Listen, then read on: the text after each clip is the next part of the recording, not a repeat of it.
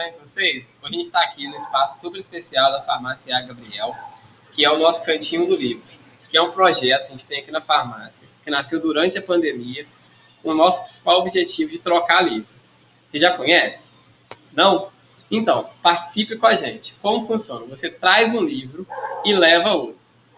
E, e temos os principais autores aqui, ó. Temos é, vários classes da literatura. Temos carta chilena, Memória de Sargento de Milícia, Memória Posse de Brás Cubas. Temos outros aqui também, ó, para você ver que o nosso projeto é bem eclético. Temos a Bíblia. Temos vários aqui, é, livros de alta ajuda, livros infantis.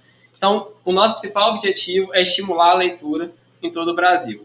Então, se você tem um livro aí parado na sua casa, você que é amante de leitura, venha ter a Farmácia A. Gabriel, escolha um livro, leva, traga um, leva outro e ajude a aumentar essa corrente.